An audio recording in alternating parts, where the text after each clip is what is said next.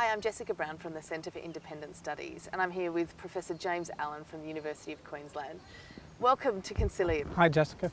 Um, look, you were talking in our discussion on political correctness and free speech. Do you think in Australia there is this problem of political correctness?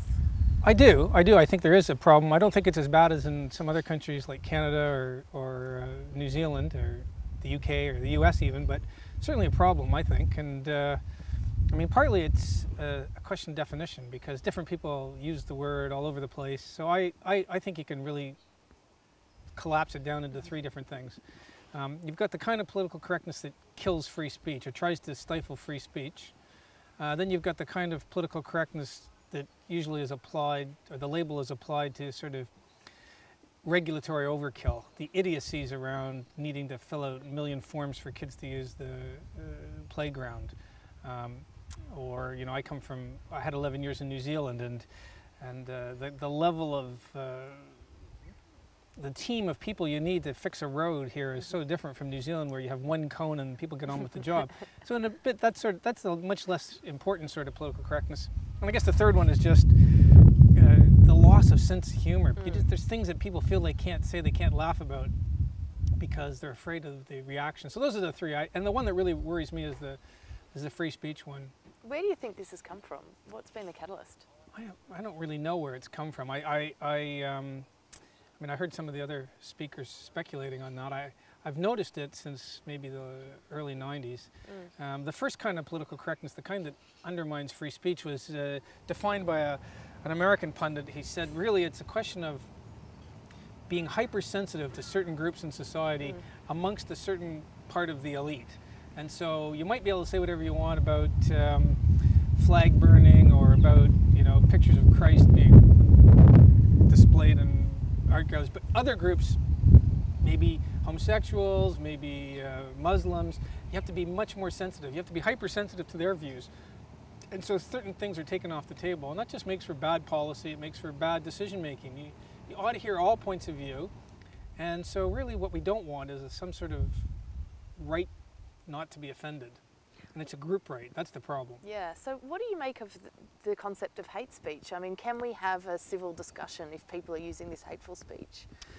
Uh, well, look, the problem with hate speech laws are that they uh, they take things off the table.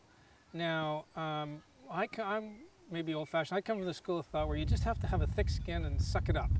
And, you know, there's some speech, obviously, that is going to be taken off the table. Even in the U.S., with incredibly strong speech protections, you can't counsel murder. So we're not talking about that. Uh, some sorts of obscenity are taken off the table. But when someone like Bolt, whatever you think of whether he's right or wrong, when he starts making comments about who, what sort of uh, self-declared Aboriginals should or shouldn't get um, what effectively are affirmative action benefits, mm well, that's something that should be in the public domain. If you don't agree with him, fine. But how he can be dragged through some, through the courts, and and you know, often hate speech laws work not just by actually taking people to court, but by scaring other people into censoring themselves because mm. of the. so it's not just whether you end up losing; it's the amount of money you have to pay. Now, Bolt's got a, you know, got a big employer who's probably they, I don't know this, but they're probably picking up the tab for him. But if we look what happened to Mark Steyn in Canada or the comedian Guy Earle, he got taken to court. He's a stand-up comedian. People paid to come and hear him as a comedian. And during the course of one of his shows in Canada, he got heckled by two women. Turned out they were lesbians. He made uh, he responded to their heckling by making you know jokes about their being lesbians, and they took him to the sort of uh, speech police, the courts. Uh, they have little commissions there. He got fined a big amount of money, and nobody hires him anymore. It's ridiculous. You know, I just think there's a real problem with this hypersensitivity mm. to group, to, you know, and it's not everyone. As I said, if, if an American felt aggrieved that people were burning the American flag, his hurt feelings would he wouldn't be able to go to court, and most of the people who support the Andrew Bolt uh, court action, they wouldn't they wouldn't say, okay, well, Americans who have hurt feelings because someone's burning their flag, they ought to be able to take mm. them. They wouldn't say that. And what's the end point of this? I mean, what what effect does it have on the political discourse and policy outcomes? Well, I mean, I think there's a tendency to censor yourself. You got to fight that. Yeah.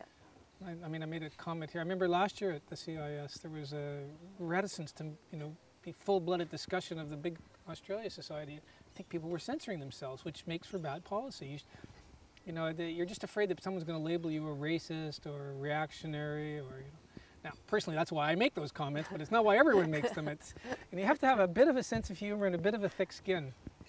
I know some people I think are just in the business of having, uh, of being victims. This looks like everyone wants to be a victim, or not everyone, but too many people are, are you know, feel it's their life's work to be a victim.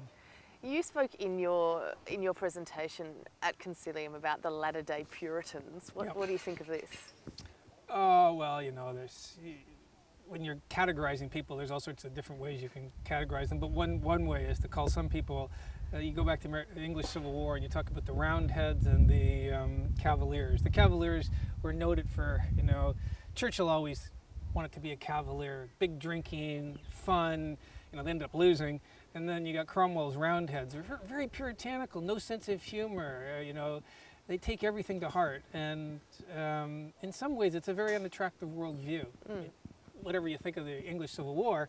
So I just think there's this group of people. It looks like there's this group of people out there who s- see themselves as sort of moral enforcers. I don't like it. Um, so you know, we need to poke fun at them. Well, thank you so much for your time, Professor James Allan. It's been great Thanks, to have Jessica. you here. Thank you.